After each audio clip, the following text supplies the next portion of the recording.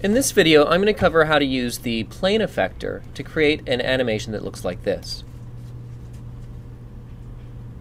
We've taken some simple text and we are rotating each letter one at a time simply by taking a plane effector and moving it through our object. If you take a look at the plane effector, you can see that it's got a yellow box on the outside and a red box on the inside. The yellow box on the outside represents no effect, and the red box on the inside represents 100% effect. And you can see as I drag it through my text, depending on where it runs into the center of my object, uh, it's either working or it's not. We're just animating the X position to get it to uh, rotate our text like this.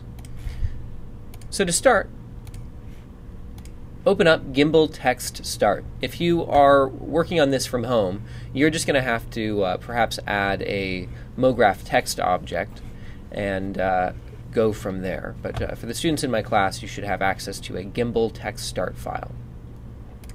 Uh, first things first, we want to give this text some depth. So I'm going to turn off my render camera so I can rotate around my scene without messing that up.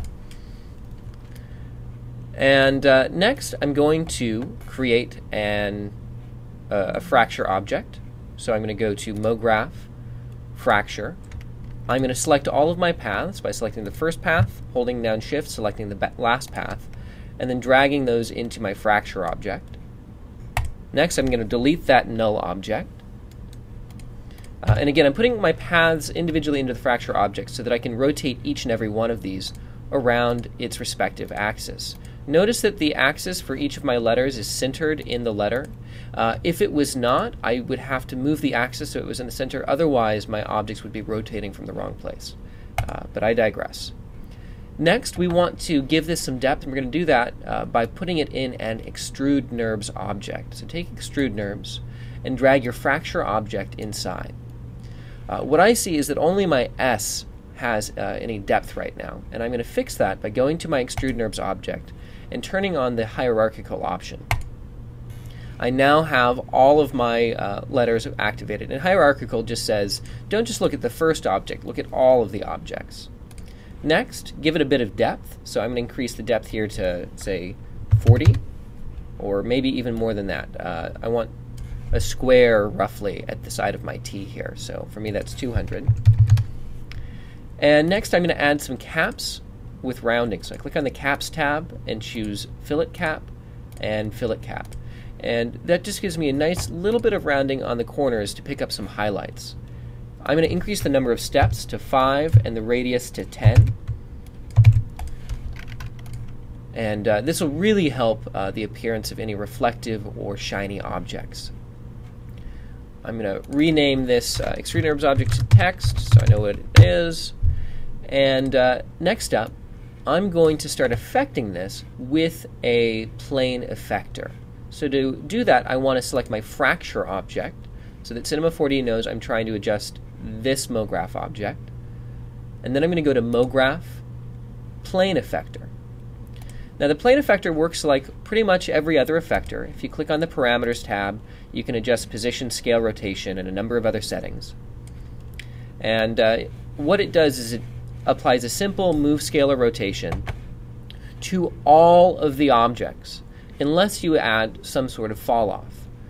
Uh, what I want to do is not adjust the position, but adjust the rotation. And for rotation, I want my letters to rotate 90 degrees on heading. So I get something like this.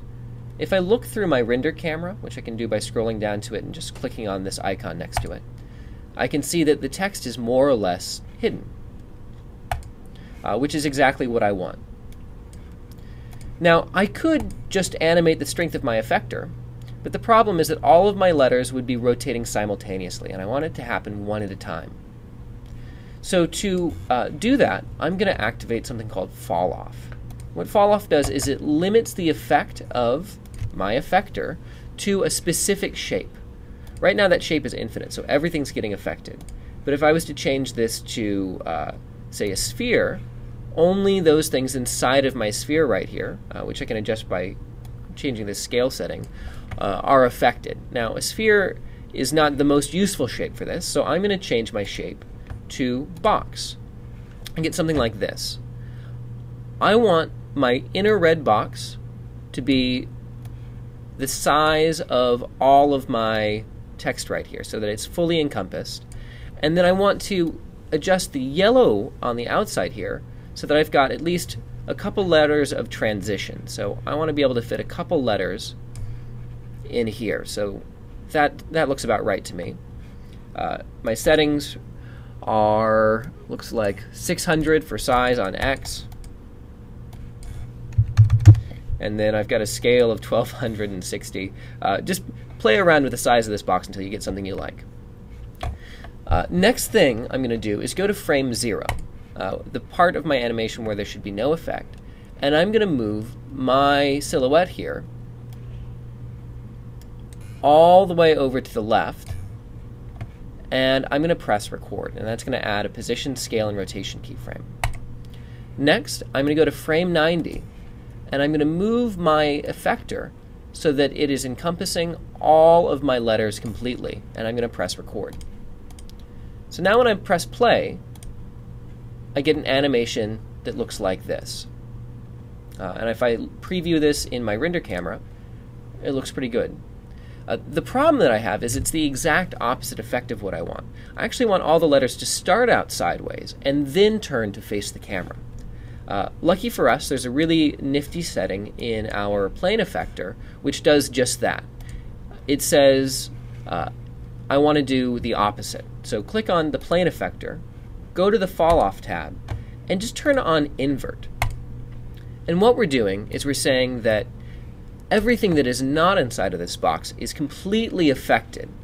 All of these parameters, all these settings here are applied to every object that is not in this box. So now when we play through, as the letters get into the box, the effect of the effect of the rotation, becomes less and less. And you get something like this. Now, what's really cool is, uh, or, or may, maybe just a, a, useful trick, is if you want uh, these letters to seem even more flat, you just want to increase the length of your lens. So go into your render camera and change the field of view from 53 to something like 200, which is a, a telephoto. And then Oops.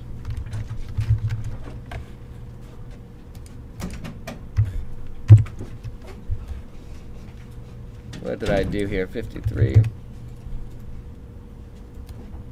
Oh, not field of view, excuse me. That's not what I want to change. I want to change my focal length here to 200. And then zoom out. And then notice that as I zoom out, the letters seem even more flat to camera. You get even more of a silhouette effect. So uh, that's just a fun little trick to flatten out perspective, use a longer lens. There you go.